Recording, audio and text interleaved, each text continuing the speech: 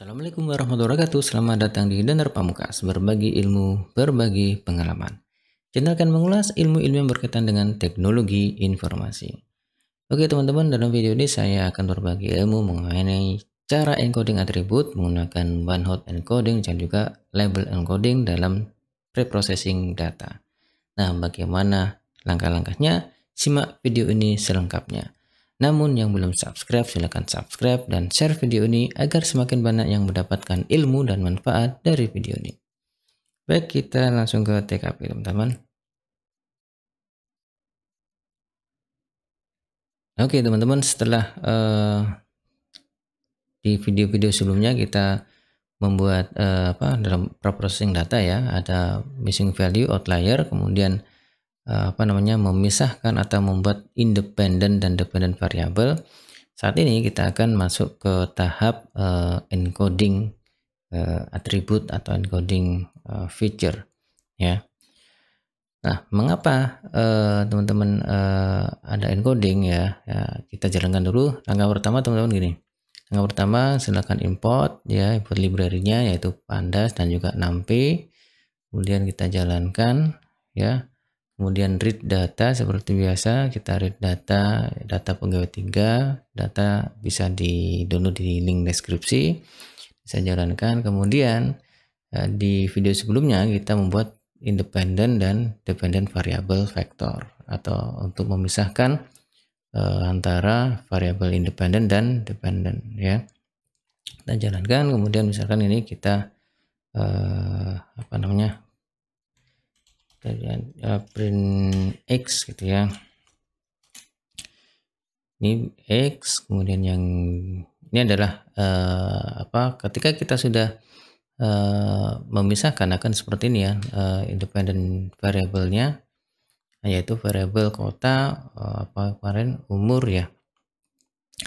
Masa kerja gaji ya. Kemudian kalau variabel y uh, yang apa namanya uh, dependent ya. Isinya adalah seperti ini. Nah ini uh, labelnya ya labelnya. Nah kemudian kenapa teman-teman ya kenapa kita harus melakukan encode ya? Melakukan atau merubah ya, merubah dari uh, data yang ada di sini menjadi sebuah data baru ya bentuknya. Kalau kita lihat di sini teman-teman dataset kita bahwasanya kita buka datasetnya variable dataset ya ini ada dataset yang uh, sebelum di split atau belum dipisahkan antara independen dan uh, dependennya. Nah, kalau kita lihat ini umur ya itu tipe datanya adalah nominal ya. Nominal kemudian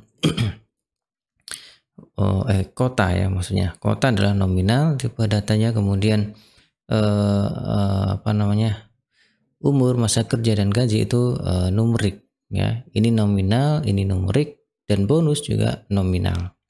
Ya apa ada yang bisa menyebutnya kategorial dan juga ini targetnya gitu ya. Nah, maksudnya atributnya ini termasuk uh, nominal bukan numerik. Nah untuk bisa diproses lebih lanjut ya karena basicnya uh, apa namanya uh, sistem kita komputer kita ya atau uh, apa uh, metode yang kita gunakan itu nanti hanya bisa menghitung numerik ya bisa beroperasi dengan numerik maka uh, atribut-atribut yang apa namanya uh, bentuknya nominal kita ubah ke bentuk numerik dengan uh, format tertentu ya. Yang ini uh, kota nanti kita rubah juga dari nominal ke numerik uh, kemudian bonus juga seperti itu ya. Kita rubah ke dari nominal ke numerik. Nah bagaimana caranya teman-teman? Uh, kita langsung aja ya. Kita langsung aja. Ini ini saya uh, ini aja biar nanti nah ini data variabel apa tadi? X ya yang dependent. Eh, eh independent mohon maaf. Ini independent variabel. Nah, caranya gimana teman-teman? Kita di sini ah, kita akan merubah ini dulu ya, merubah uh, apa ini namanya? Yang indeks uh, kok indeks yang variabel yang x ya ini saya ini dulu nih di nah ini supaya lebih mudah ke, uh, kelihatan indeksnya oke okay, uh, kita menggunakan untuk me-encoding uh, encoding apa namanya? Apa teman-teman tuh uh, nominal atribut nominal uh, atribut ya. Kita menggunakan metodenya adalah one hot uh, encoding ya one hot encoding. Nah ini uh, sudah tersedia di sklearn teman-teman. Jadi kita panggil di sini uh, library sklearn from uh, sklearn ya. Kemudian kita ambil uh, di sini uh, compose kemudian import uh, kolom transformer. Kolom transformer. Nah karena kita akan mentransfer uh, transformasi merubah bentuk sebuah kolom atau sebuah atribut ya. Nah setelah itu kita panggil juga uh, from sklearn ya. Kemudian di melakukan preprocessing. Nah ini preprocessing kemudian kita import. Uh, dari preprocessing kita import uh, apa? Apa tadi? One hot encoder. Nah ini dia one hot encoder. Nah kita jalankan dulu teman-teman di sini. Kita jalankan oke kemudian langkah selanjutnya teman-teman kita akan membuat uh, sebuah variabel untuk me, me, apa tadi mengencode tadi ya mengencode, mengencode tadi. Misalkan kita uh, apa uh, membuat kolom transformer dulu. Kolom transformer ini ya seperti ini. Kemudian ini adalah cara untuk mengencode-nya teman-teman. Kolom transformer kemudian kita panggil yang di transformer ya. Ya, kita melakukan apa? Melakukan transformer seperti itu. Transformer ini kita panggil. Nah kemudian teman-teman eh, yang ditransfer mana? Di bagian apa? Ya maksudnya eh, ngapain gitu ya? Yang ditransfer adalah eh, atribut apa tadi teman-teman? Eh, variable x ya, ya yang di kolom eh, di kolom apa indeksnya ini? 0 ya kemudian kita melakukan apa? Yaitu kita melakukan dari indeks 0 tadi ya kita akan melakukan one hot encoder. Nah sebelumnya kita harus mention dulu di sini mention bahwasanya kita akan melakukan uh, apa namanya? Encoder ya encoder. Kita melakukan encoder. Nah teman-teman sebenarnya ini bebas ya untuk melakukan mentionnya apa membuat uh, judulnya atau kita mention gitu ya Nah, kemudian kita melakukan encoder apa teman-teman? Kita melakukan encoder yang kita lakukan adalah uh, one hot encoder ya. Kita melakukan one hot encoder. Kemudian yang di encoder ya kolom berapa, atribut apa, berapa indeksnya, yaitu indeks berapa tadi teman-teman? Indeks 0. Ya, berarti di sini kita ketikkan 0 di sini. Nah, kemudian ya kemudian eh, setelah itu setelah kita membuat apa mengambil uh, fungsi encodernya kemudian kita mengambil atributnya ya jadi indeks 0 kemudian di sini uh, apa teman-teman tujuan kita adalah ini ya tujuan kita hanya untuk merubah indeks 0 atau atribut yang kota ini Nah, sedangkan indeks 1, 2, 3 itu kita tetap mempertahankan value-nya.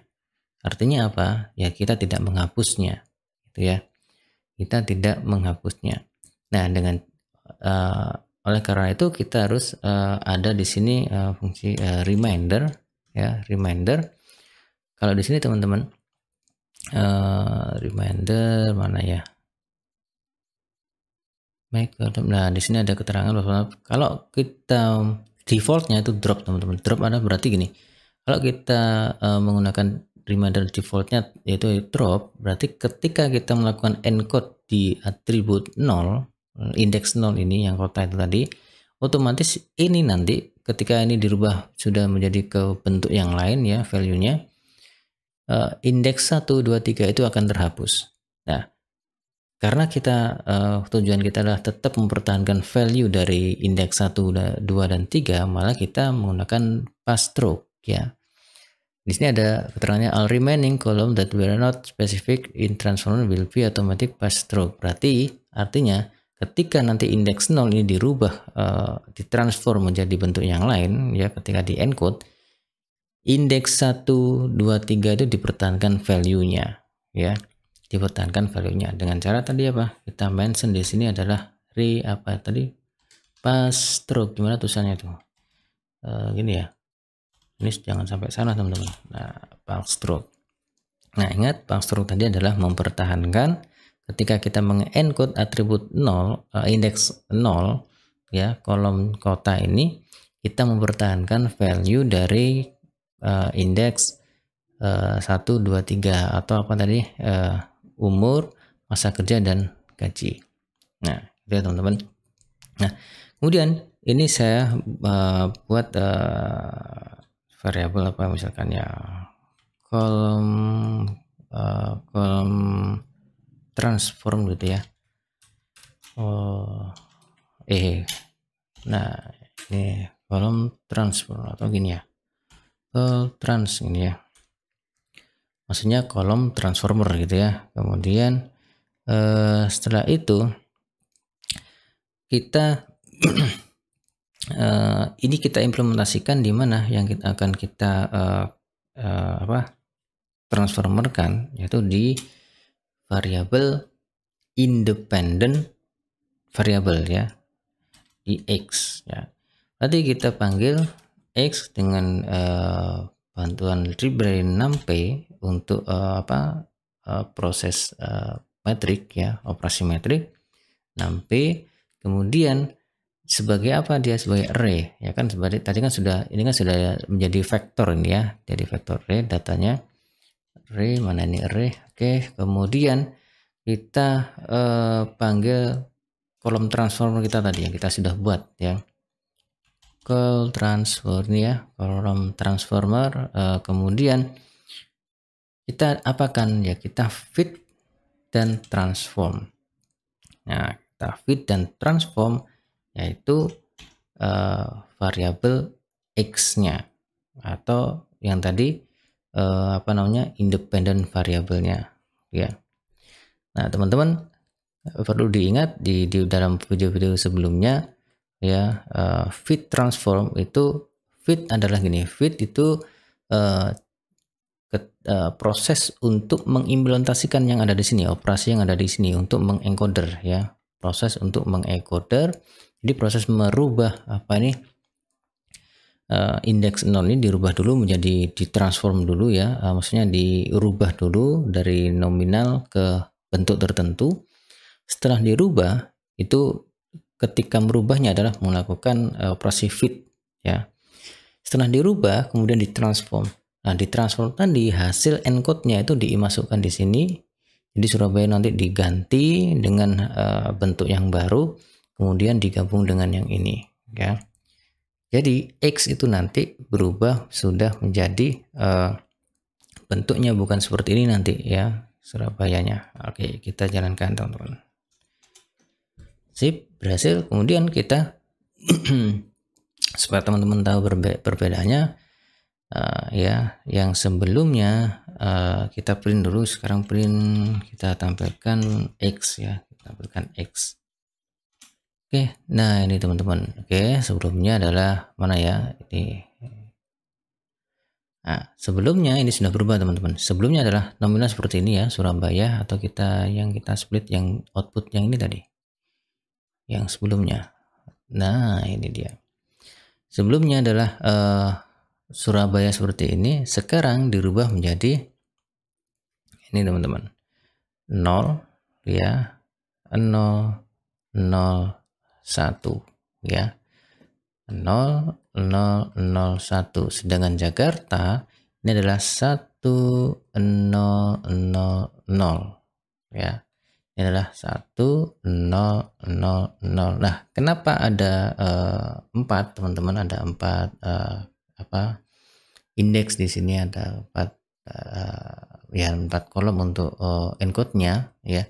Itu karena nah kita cek dulu ya biar teman-teman tahu ini kita membuat uh, kita cari hmm, apa teman-teman di dataset kita seperti ini. Sebentar. Sebelum langkah ini ya sebenarnya kita harus uh, mengecek di sini kita cek uh, apa namanya dari dataset kita yang kota itu ada berapa kota gitu ya ada berapa value kota. Ya dengan cara uh, kita ambil dari dari pandas kemudian unik ya kemudian di dari dataset kita uh, dataset dataset ya ini unik yaitu dari dataset kita ya kemudian yang khusus di mana uh, atribut kota ya kota. Nah ini kita cari kita tampilkan ada berapa value kota di situ. Ya ada berapa jenis value nya tampilkan di sini kan. Nah ada Surabaya kemudian Jakarta Kediri dan juga apa? Malang gitu ya. Ada Surabaya Jakarta Kediri dan Malang. Nah, kemudian ketika sudah di di uh, encode seperti ini ya hasilnya karena ini karena ini ada empat ya tadi ya. Satu dua tiga empat. Nah berarti di sini ada satu dua tiga empat uh, apa digit kode gitu ya empat digit kode. Yang mewakili setiap di sini nanti e, mewakili dari atribut ini eh apa value ini tadi ya ini kan ada uh, 0 0 0 1 ada 4 ya, kita ngomongnya 4 digit encode gitu ya. Itu Surabaya. Kemudian 1 1 0 0 0 itu Jakarta. Nah misalkan itu nanti ada 5 uh, jenis value kota. Misalkan ada lagi ya Surabaya Jakarta Kediri Malang kemudian misalkan Madiun gitu. Berarti di sini nanti terbentuk ada 5 uh, digit encode ya. Bagaimana kalau tiga? Ya berarti nanti ada tiga uh, digit encode di sini. Gitu ya. Nah selanjutnya setelah itu kita akan uh, mengencode yang mana teman-teman? Uh, label ya yang label. Baik kita menggunakan selangkah selanjutnya kita menggunakan encode uh, label uh, yang mana tadi? Atribut apa? Atribut bonus ya nah, kita di sini label encode ya. encoding. Encoding yaitu caranya sama kita menggunakan library from uh, sklearn teman-teman. Kemudian uh, preprocessing ya. Kemudian kita import eh, kalau label ini karena labelnya khusus ya hanya ada dua tadi dua jenis. Berarti kita, kita pakai label encoder. Berbeda dengan yang tadi ya ini label encoder. Kalau tadi eh, banyak kategorinya atau gak banyak jenisnya ya kita pakai one hot encoder ya. Kalau yang ini hanya dua yang yang biner ya itu kita pakai label encoder. Kemudian uh, kita panggil label encoder. Ya kita label encoder. Jadi ini lebih lebih simpel teman-teman. Label encoder. Kemudian kita masukkan ke apa misalkan variabel uh, lab n ya. Lab n misalkan lab encoder lab ini ya lab lab encoder gitu ya.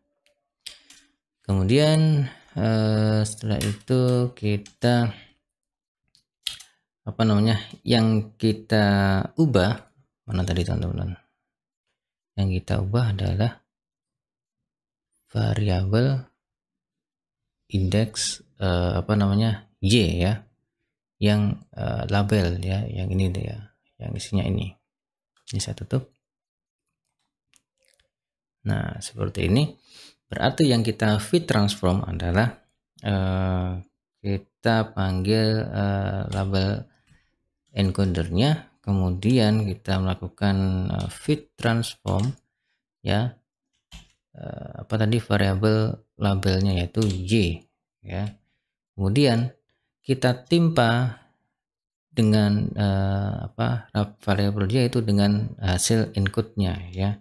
Berarti kita di sini y sama dengan ya ini seperti ini kita timpa atau kita ganti dengan uh, bentuk baru yang sebelumnya yes no yes no seperti ini ya. Nah, kita rubah ke uh, bentuk yang lain value-nya. Baik, kita jalankan teman-teman.